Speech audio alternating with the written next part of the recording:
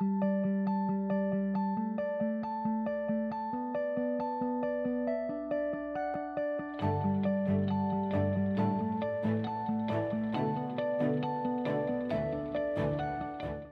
דוקטור שטיינברג ראובן, אני רופא פנימי, עוסק ברפואת משפחה קהילתית מזה כ-20 שנה.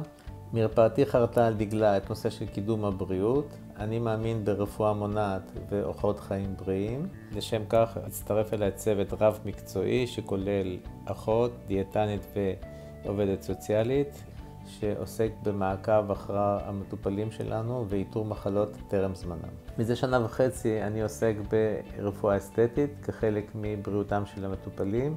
בעיניי מראה חיצוני הוא גורם משפיע על ביטחון עצמי, איזון ותחושת מסוגלות. הטיפולים מיועדים לצעירים החל מגיל 18, גברים ונשים. הרוצים לשפר את החזות החיצונית שלהם. הטיפולים כוללים הזרקות בוטוקס וחומצה היאלורונית כחלק מעיצוב של פני המטופל. הטיפול האסתטי הוא מאוד אינדיבידואלי, הוא כולל פגישת ייעוץ שבו אנחנו קובעים את תוכנית הטיפול עצמה. הטיפול עצמו כולל הזרקות ושבועיים לאחר הטיפול אנחנו עורכים ביקורת למטופל.